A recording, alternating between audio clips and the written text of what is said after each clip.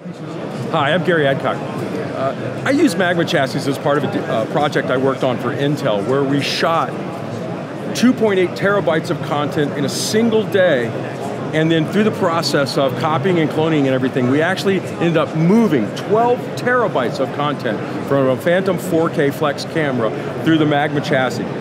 Um, the people at Small Tree configured it for me, customized through their 10 gig ethernet adapter, and then I had Fusion IO boards, and we connected to other arrays like Promise and a couple and LaCie devices, so that we can move all of this data in real time for an Intel video project. People don't understand the, the ease and simplicity that Thunderbolt brings to their workflows. It allows you to do things you've never been able to do before in a manner that is faster than you've ever been able to do on a laptop, on a desktop, whether you're working on a Mac or a PC. And I think Magma is one of the best chassis manufacturers for expansion to allow me to do what I need to do on a Thunderbolt bus.